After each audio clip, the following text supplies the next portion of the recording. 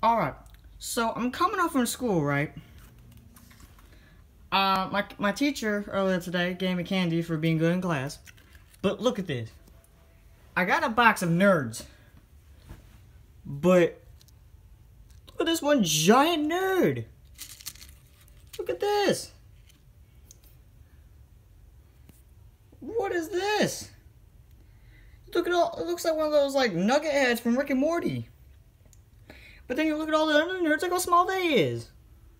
Look at this giant thing. What is this? I mean, I understand it's a giant nerd, and, well, probably has more flavor in it, but, bruh, like, look at this.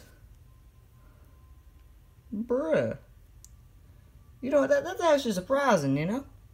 That, that That's something you don't see every day.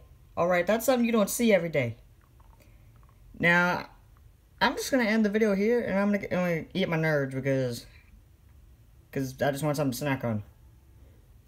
Uh, yeah, like I said, see you. Or should I do an outro? Nah, I shouldn't do an outro.